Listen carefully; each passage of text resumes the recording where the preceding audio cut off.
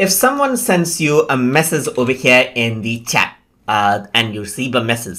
So over here you can see uh, says, hey there right here. If I were to go around, then you can see uh, small things right here just like this and these are known as smart replies. So what you can do with this is you can simply click and the message is typed out. You can press enter right here and the other people can go around and use the smart message to reply back to users like that as well. And over here you can see there's smart messages again and you can choose the one that you want instead of typing and then send quickly right here. So this is very very helpful if you want to send quick replies.